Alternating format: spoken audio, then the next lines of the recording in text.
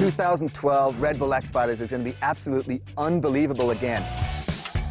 We've got six stops, four continents. It's truly global.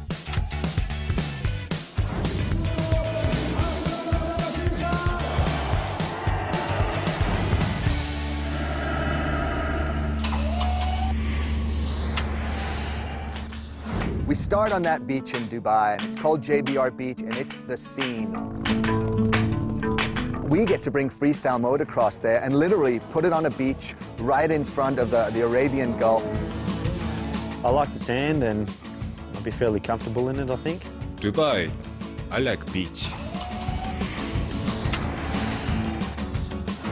Coming back to the US for the first time since 2009. This year, we're going to be in the hills of Glen Helen, but this time we're building an even bigger course with more freeride characteristics built into the hills there. Glen Helen, it's a special place where you get like a lot of uh, history on this place. The Red Bull X Fighters is coming back to the USA, to America, where freestyle motocross started.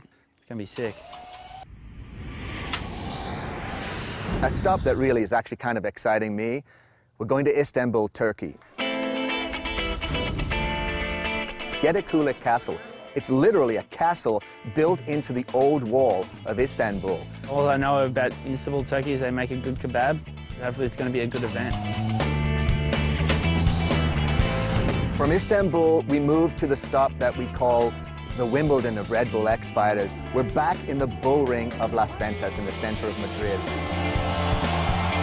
Everyone is so passionate that it really lifts all of the riders to perform probably more than almost anywhere else we go. I want to do a new trick in, uh, in Las Ventas. It's, it's really good for me when I ride with my car.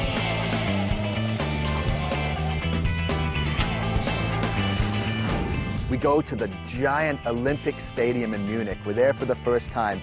Dane Herron building a big track in Munich, and I think that's going to be key, that the guys at this point in the season are going to have to really step up their game as we work down towards the championships. It was so cold the last time I was there. I couldn't believe how freaking cold it was. We're going to move back down under again to Cockatoo Island in the middle of Sydney Harbour, and it's amazing. The backdrop is the Sydney Harbour Bridge and the Sydney City skyline, and I think it's going to be another great finals for us.